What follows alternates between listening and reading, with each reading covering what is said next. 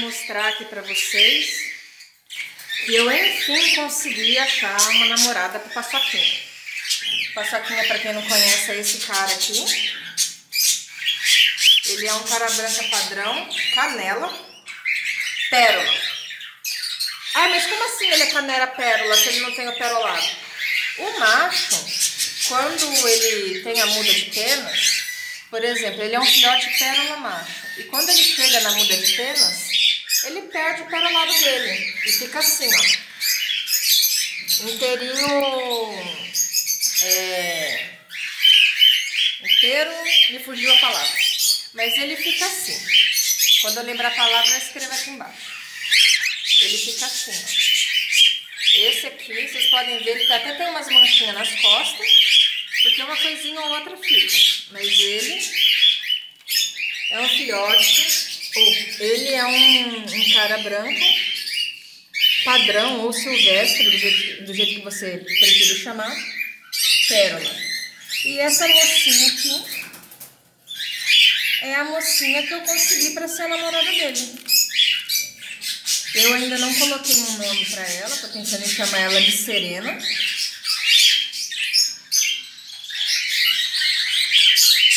Vocês podem ver, ela é uma fêmea, cara branca, padrão, canela pérola.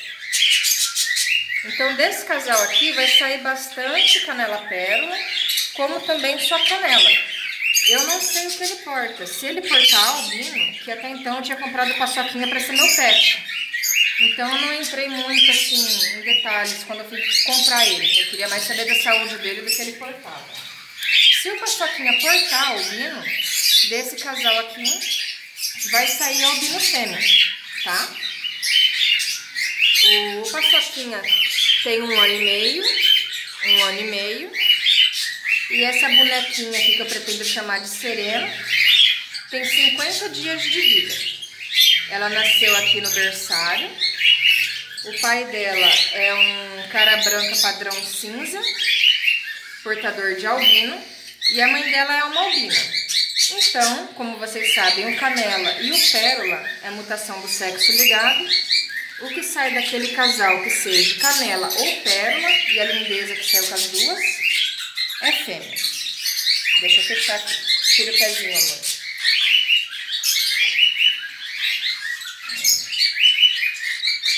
Gente, eu vou deixar eles cruzar agora? Não, eu não vou. Por Ela é muito novinha. Vocês podem ver, tá sem ninho, tá sem grade de ninho. Ó, tá sem nada. O porquê que eles estão juntos? Ai, nervoso. Isso porque ele é manso, hein? O porquê que eles estão juntos? Para eles formarem o casal. O que seria formar o casal? Um acostumar com o outro ela começar a gostar dele, ele começar a gostar dela, o... até ela ficar com a fase de reprodução. Qual seria essa fase, essa idade de reprodução? Um ano de idade, tá? Repetindo, 12 meses, uma dúzia, um ano de idade, 366 dias.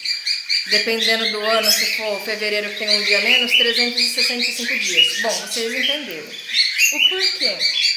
Para toda a estrutura dela, tanto óssea como dos órgãos, tudo, tudo, tudo, simplesmente tudo, está pronto.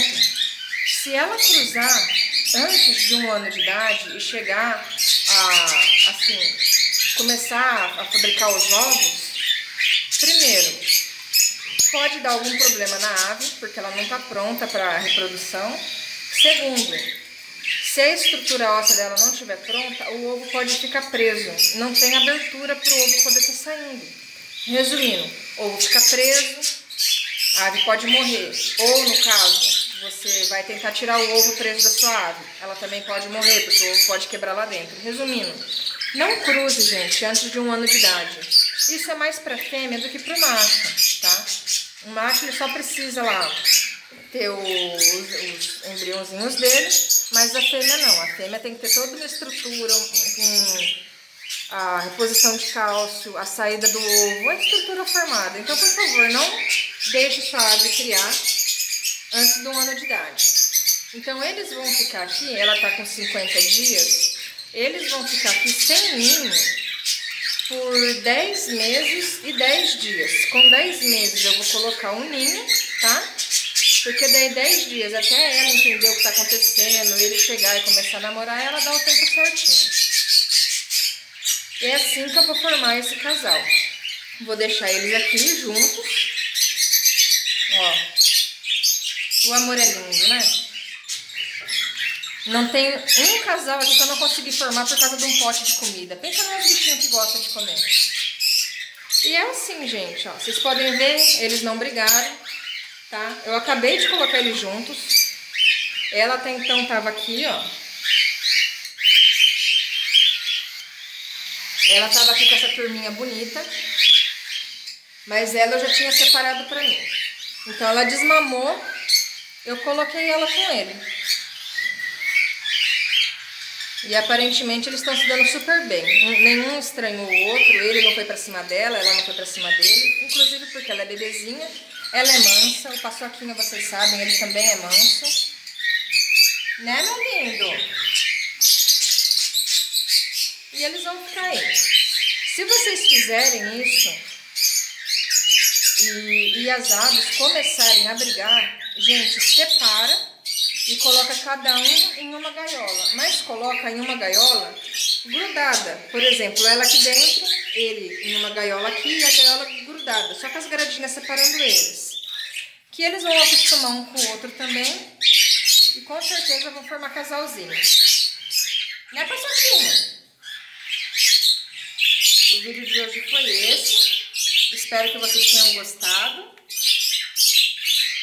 Ela ainda pede papinha às vezes, mas é por, por mania mesmo. Ela desmamou só tem dois dias. O vídeo de hoje foi esse. Espero que vocês tenham gostado. Não esquece de curtir nosso vídeo, se inscrever aí no nosso canal. E até a próxima!